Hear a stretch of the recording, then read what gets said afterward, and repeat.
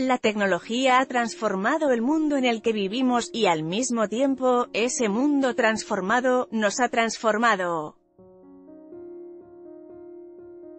Los avances tecnológicos de los últimos años, y los que están por venir, continuarán cambiando cómo nos relacionamos con otras personas, con nuestros empleos, y con nuestras tareas cotidianas.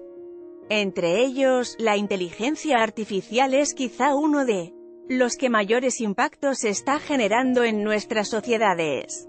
La capacidad transformativa y disruptiva de la inteligencia artificial nos obliga Reconocer que, sin las medidas necesarias, el desarrollo de la inteligencia artificial podría exacerbar en lugar de mitigar las desigualdades sociales. Inteligencia artificial es el nombre que se le da al conjunto de tecnologías, aprendizaje de máquinas, aprendizaje profundo, redes, neuronales que permiten a las máquinas hacer tareas que normalmente requieren inteligencia humana, tales como percepción, reconocimiento visual y de voz, análisis de grandes cantidades de datos, reconocimiento de patrones y predicción.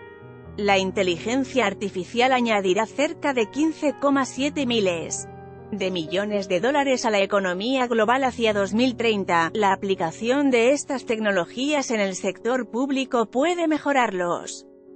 Procesos administrativos y burocráticos, y en general, su aplicación a casi cualquier ámbito de nuestras vidas puede servir para expandir la capacidad humana. Sin embargo, especialistas en la materia han advertido que para lograr estos beneficios, el desarrollo de la Inteligencia artificial debe de ocurrir dentro de un marco de gobernanza adecuado basado en el respeto a los derechos humanos. La dignidad humana, y las leyes.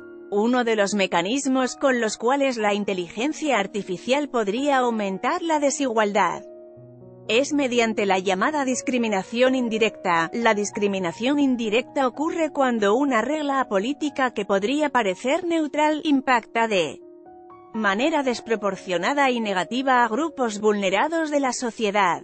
Pero, en el caso de la inteligencia artificial, de acuerdo con Arindrajit Basu, la discriminación puede ocurrir en dos etapas, a. uso incompleto o inadecuado de datos que resulten en un algoritmo que procesa información que no necesariamente refleja la realidad, b. procesamiento de datos que acepta datos y los procesa sin que la persona que lo desarrolló tenga conocimiento de cómo se está procesando la información. Foto, TTC, estos mecanismos de discriminación no son abstractos y ya hay casos documentados alrededor del mundo de cómo han afectado a distintas comunidades o grupos sociales. 1. De lo más recientes y notables fue el caso del sistema de inteligencia artificial desarrollado por Amazon para reclutar a su fuerza laboral. Este sistema fue desarrollado en 2014 para revisar los currículos de los postulantes a diversos puestos de trabajo en la empresa, mecanizando la búsqueda de lo que consideraban serían los mejores perfiles, y clasificándolos con un sistema de estrella similar al que Amazon utiliza para sus productos.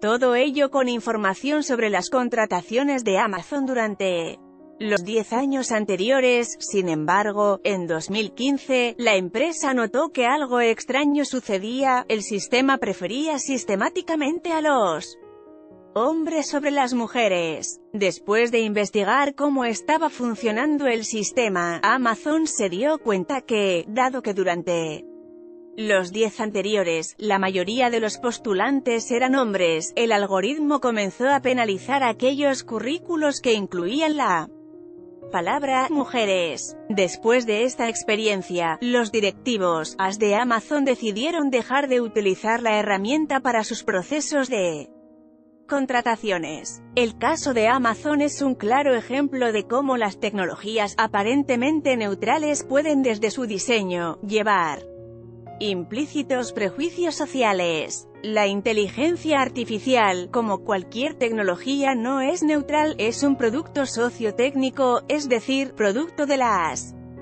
relaciones jerárquicas y de la distribución de poder y privilegios que existen en nuestras sociedades. Por ello, requerimos incorporar a todos los grupos sociales a lo largo de todo el proceso, desde su diseño hasta su implementación, y pensar marcos de gobernanza democráticos. La inteligencia artificial puede ayudarnos a construir un mundo más humano, menos desigual, y más justo, o puede exacerbar las desigualdades y la pérdida de nuestra dignidad humana. El camino que tomemos depende de nuestra determinación para afrontar los retos éticos que nos plantea, y de construir una gobernanza centrada en los derechos humanos. Asterisco las columnas de opinión de CC News reflejan solo el punto de vista del autor.